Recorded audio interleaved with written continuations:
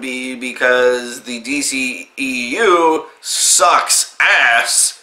Everyone knows it sucks ass. And I just don't feel like putting myself through that torture. Even if I Patreoned it? You wouldn't. Oh, I would. And next week, you're going to be reviewing Batman v Superman with me.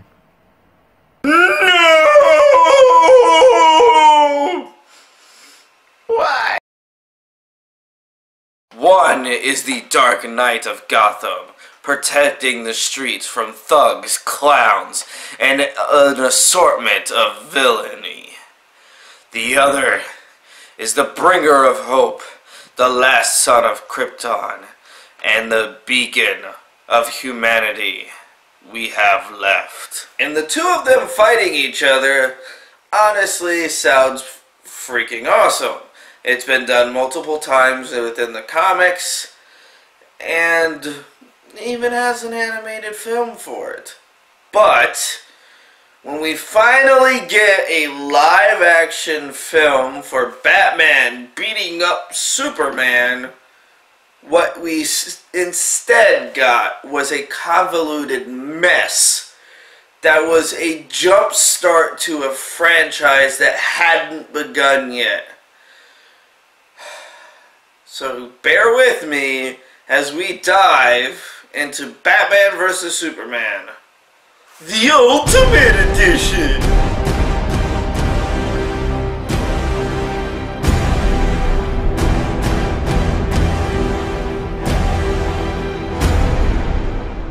Our movie begins with yet again another look at childhood Bruce Wayne and his tragedy set to the opening credits.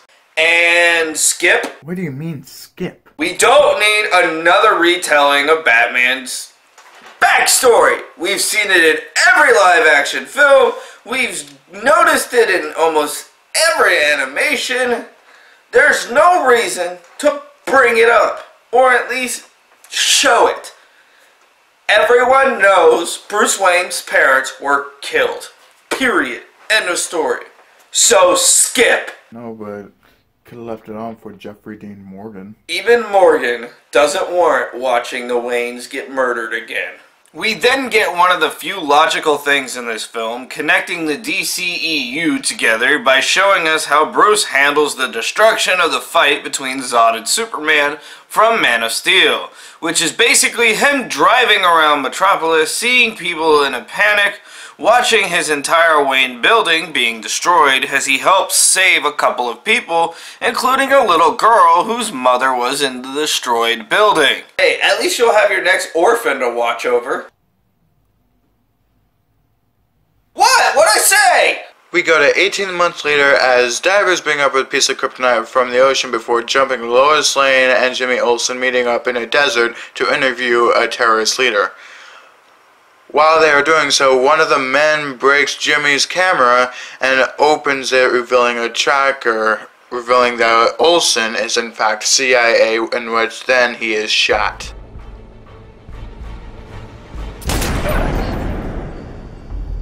Jimmy Olsen is one is a major character with and for Superman. I mean, you can't have Clark Kent if you don't have Jimmy Olsen. They work both work in the Daily planet. It's just why show a major Superman character if you're going to kill him off five minutes later? That just seems like a waste of potential. I'm more concerned over the fact that they destroyed a perfectly good camera. The shooting begins as one side turns on the other with Lois captive. Superman eventually shows up and saves her like usual. But because of the situation and chaos, Superman is of course blamed for the attack that killed so many people. Meanwhile, in Gotham, the GCPD investigate yet another Batman sighting, and we see that Batman has begun branding his villains. Oh, Jesus Christ. He branded them. I mean, we already have the Bat Boat, the the Bat Shark Repellent. Why not Bat Thug? Like the Joker says, not Jared Leto. Without Batman, crime has no punchline. But Without thugs, Batman wouldn't have anything to do. Merchandising. Lois begins to contemplate everything that happened as Clark tries to reassure her that things will be alright. While at the Batcave, Bruce and Alfred discuss how much he has changed since Superman appeared and the information he knows on KG Beast. At LexCorp, however, the senator meets with Lex Luthor and is shown that Lex has a piece of kryptonite already and just needs her approval to bring in more from another country to build a weapon against the Kryptonians. See, one of my gripes about this film is that Jesse Eisenberg is promoted as Lex Luthor, but his character acts more like the psychotic Lex Jr. within the comics. At least to me, anyway. So my question is, when he mentions his father in this scene, is he alluding to the fact that he is Lex Jr. or is he talking about Lionel? Because to me, Eisenberg just doesn't fit the Luthor persona. But isn't there a point in the comics where, like back long time ago, where Lex Luthor had hair but lost it because of Superman. Like, at in this point, it would be because he was put in jail or whatnot. And back then, it was like some sort of like acid or something like that. I can't, I can't remember, but I remember the fact of it, of him having hair before, but he lost it. Yeah, in the Silver Age, they say while he was teenager Clark was a teenager. Look, look. Yeah, in the Silver Age, when Lex and Clark were teenagers, they were supposedly. Yeah, when Lex and Superboy were teenagers, they claim Superboy was responsible for a chemical explosion that lost Lex's hair. But they're still stupid. Lex is then given the permission he requested so he can experiment with Zod's dead body. Wallace, from the building collapsing in the beginning, decides it's time to show the world what Superman really is, as he vandalizes a statue of the hero. Clark heads to Gotham and learns of the Batman through feared filled civilians, while Bruce pays a visit to the KG Beast in a fight club. Clark feels they should be covering the Batman story, but White thinks Crime wave in Gotham. Other breaking news. Water. Wet. And in other news, I almost fell asleep getting to this part within the script. Which shows you how boring this movie really is. Well, maybe you should get one of those five hour energies. That way you're running with sugar. Literally. Don't lie. You know it's fucking boring. It shows the info she knows about the bullets and requests a trip so she can prove her theories to correct it all, while Clark is told to go to a function by personal request. At Luthor Manor, the senator once again meets with Lex as he compares Superman to a devil and a monster, while Bruce has a nightmare.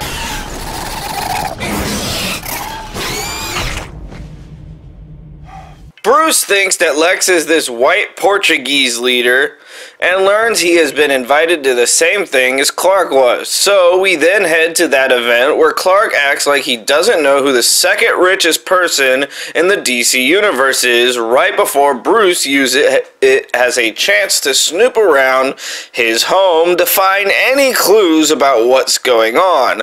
Lex introduces the two of them to each other. How are we? Lex. Hello? Good. Hi, hello. Lex, it is a pleasure. Ow! Wow, that is a good grip. You should not pick a fight with this person. Future plot things! You really hate this film, don't you? No, I want to make love to this movie while yelling Martha the whole time. Yes, I hate this movie! As Bruce heads to grab his transfer device, he's followed by a woman in red while Clark heads off to save people from a burning building, and giving us one of the most iconic scenes from the film as the surrounding people reach up to him to touch their savior before getting a short montage of Superman saving lives. While Lois continues her bullet lead, Clark investigates the Bat brand. Lex visits our paraplegic, giving him a reason to freshen up.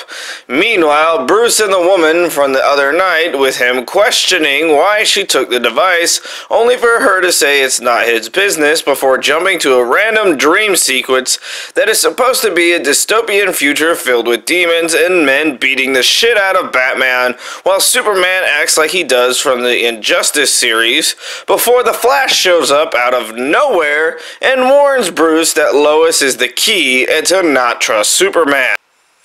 Okay, so here's one of my gripes for the film. This specific scene just shows up. It feels 100% out of place. One second he's at his computer, the next we're into the dream sequence, then he meets the Flash, and then he wakes up. Don't know if it's supposed to be presenting what is going to happen in future films because it didn't happen in Justice League, or if the writers just completely forgot that they made this scene. It, it just feels out of place to me. So that being said, let's finish this shit. Batman uh, finally gets the info he's been looking for by learning the white Portuguese is actually a ship carrying the kryptonite, and Alfred seems to be the only voice of reason as he tries to convince Bruce he's being stupid by feeling that killing Superman is the only option. Meanwhile, at the docks, we finally see something interesting happen as Batman tracks down KG Beast and does all he can to stop them until Superman shows up.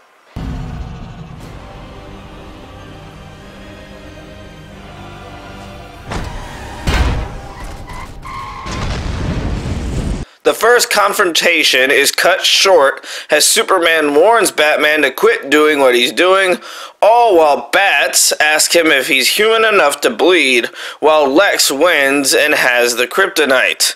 The senator then goes on TV and invites Superman to a hearing in order to defend himself. Meanwhile, Lois is given all of the information about what really happened at the desert, and that the whole thing was just a setup by Lex to frame Superman. Cause of course it was. During the committee hearing, we see all the parties involved doing what they are setting out to do, and as the senator stutters on her words, a bomb goes off.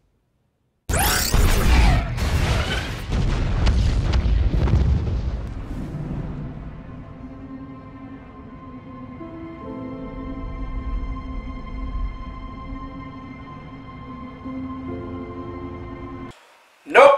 Nope. I'm done. Okay, I'm done. An hour and a half, and they haven't even actually fought yet. This film is nothing but padding. And I'm just done. I'm done. I'm done. Superior critic, where'd you go? Cuz? Hello? Oh boy.